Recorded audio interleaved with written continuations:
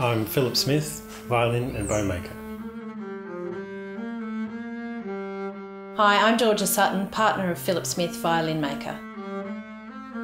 When I first started in the industry, it was purely shops that people had to go to basically to find an instrument. And during that time, I've seen it get to much more digital, online. The music community is an international community, and in order for us to present his work to the world, the digital forum is the best place for that. Starts with people researching things online and finding out where they can go and what's good and what's not.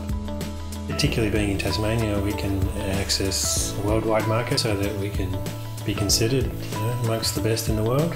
In one of our first YouTube videos, we had a player from the TSO uh, using one of Phil's bows.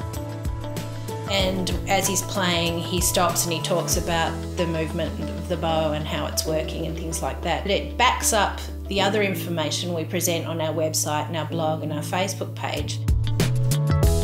We've had a customer from Sydney who, who came down here specifically to commission an instrument on the back of our digital work. We've used iPhones to video, we've used just basic video cameras, we haven't needed any um, specific equipment. The quality of the videos and the images varies a little bit, but I think that the online community is quite understanding and in a way it connects them even more personally to the work as it's being done. I would recommend anyone um, in any business really to use video as um, a medium for marketing and for generating uh, that online interest.